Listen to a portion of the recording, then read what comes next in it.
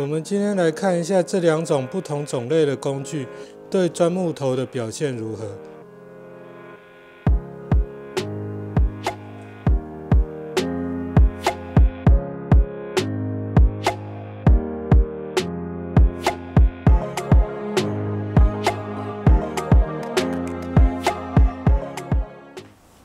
各位朋友，大家好。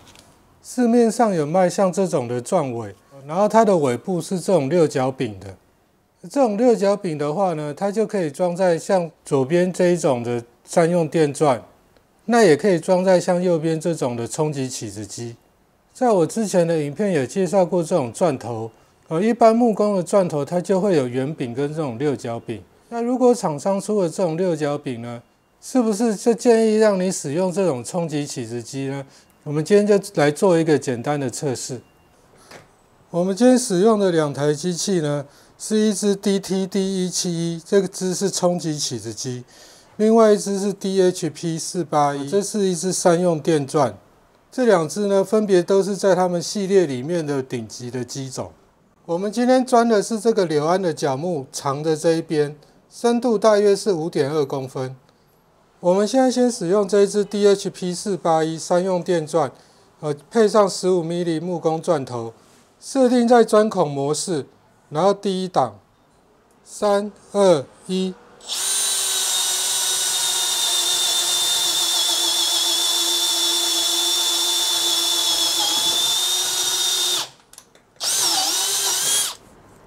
我们现在换 DTD 一七，然后一样是配十五 mm 钻头。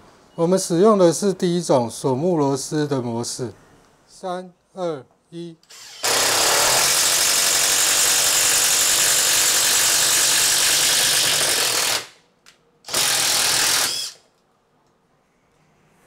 我们快速总结一下，这次 DHP 四八一在钻的时候，比较需要用大一点的力量去压。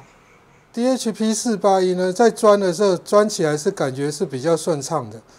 这支 DTD 一七一呢，在钻到一个程度之后，它机器就自动启动这个垂直的模式，哦，然后相对来说就变得非常的吵。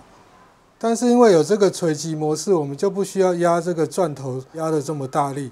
相较于这个 DHP 四八一来说，基本上这种商用电钻呢，它本来就是设计要来给你钻东西的。那市面上出的这一种钻头呢，它有六角柄，就是让你一样这个钻头呢可以使用在这种冲击起子机上面。但是冲击起子机一般来说，它并不是说针对这个钻孔所设计的，所以一般在少量或者是临时急用的话，我们可以使用这种冲击起子机，配上六角钻头来钻孔。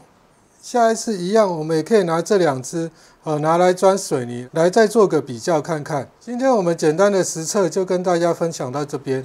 如果喜欢我的影片，记得帮我按个赞，然后分享我的影片哦。我们下次见，拜拜。